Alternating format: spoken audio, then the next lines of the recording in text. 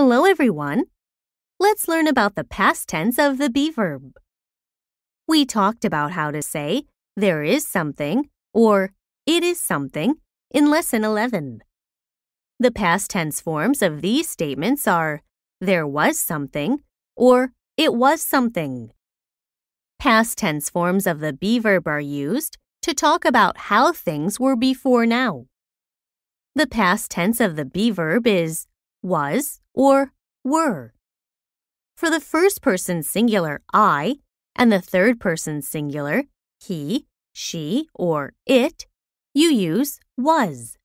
For example, I was tired yesterday. For plurals like you, we, or they, use were. For example, they were tired yesterday. For negative sentences, put not after the past tense forms of the be verb was and were. To make the short form in the past tense, drop O from not and put in an apostrophe.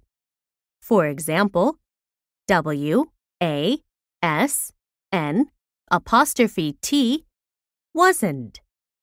An example sentence would be, He wasn't tired yesterday. Or, We weren't tired yesterday. Lastly, for questions, put the past tense of the be verb before the subject.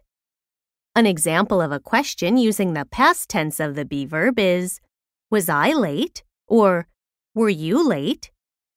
You can answer either yes or no.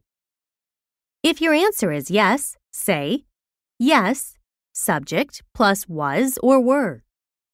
If not, answer no, subject plus wasn't or weren't.